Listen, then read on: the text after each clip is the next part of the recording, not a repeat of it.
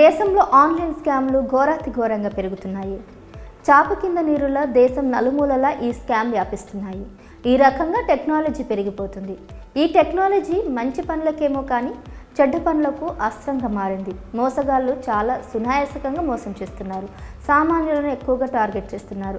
చాలామంది సులభంగా డబ్బులు సంపాదించాలని చాలా స్కాముల్లో చిక్కుకుంటున్నారు.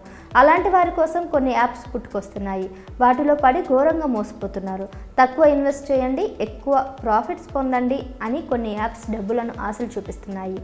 అంతేకాకుండా చివరకు సామాన్యులకు నెట్టింట ముంచేస్తున్నాయి. రీసెంట్గా హైబ్యాక్స్ మొబైల్ యాప్ అనే స్కామ్ ఒకటి వెలుగులోకి వచ్చింది. అసలు ఈ స్కామ్ ఏంటి? ఈ హైబాక్స్ యాప్ ఏంటి? దీని వెనకాల ఉన్నదెవరు ప్రజలు ఈ స్కామ్లో పడి ఎలా మోసపోతున్నారు? దీనికి సంబంధించిన పూర్తి వివరాలు ఇప్పుడు తెలుసుకునే ప్రయత్నం చేద్దాం. ఈ ఐవాక్స్ యాప్ను వాడుకొని స్కామర్లు ప్రజల నుంచి భారీగా డబ్బులు కాజేసి మాయమైపోయారు. ఈ భారీ స్కామ్ వెనకాల పలు బాలీవుడ్ సెలబ్రిటీలు కూడా ఉన్నారు. ఈ స్కామ్లో popular YouTuber Elvish Yadav comedian Bharti Singh ఉన్నారు.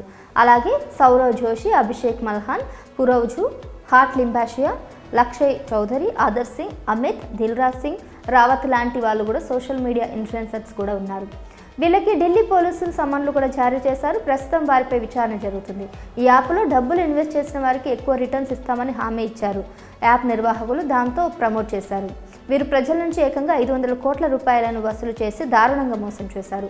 హ్యావాక్ స్కామ్ని పక్కాగా చాలా జాగ్రత్తగా ప్లాన్ చేశారని డిప్యూటీ కమిషనర్ హేమంత్ తివారీ తెలిపారు.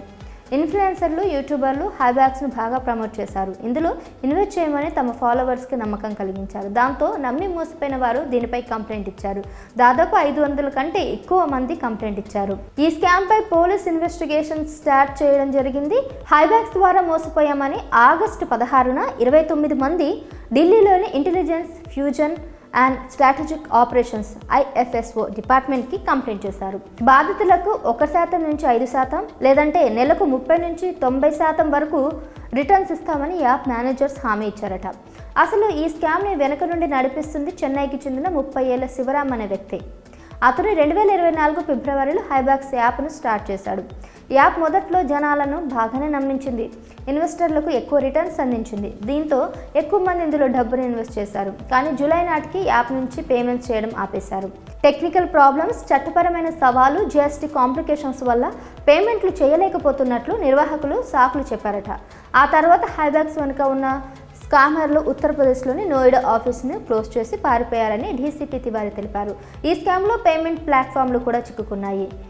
ఈజ్బాస్ ఫోన్పేలను కూడా పోలీసులు పరిశీలిస్తున్నారు. ఐబాక్స్ యాప్లో ట్రాన్సాక్షన్స్ జరపడానికి వీటిని వాడారట.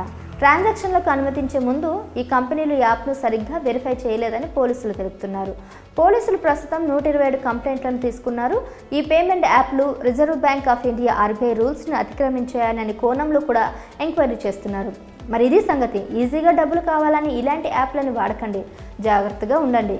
ఇక హాబ్యాక్ స్కామ్ గురించి మీరేమనుకుంటున్నారు? ఇలాంటి స్కామ్ గురించి ఎప్పుడైనా మీరు తెలుసుకున్నారా? తెలిసినట్లయితే ఆ యాప్స్ ఏంటో కింద కామెంట్స్ చేయండి.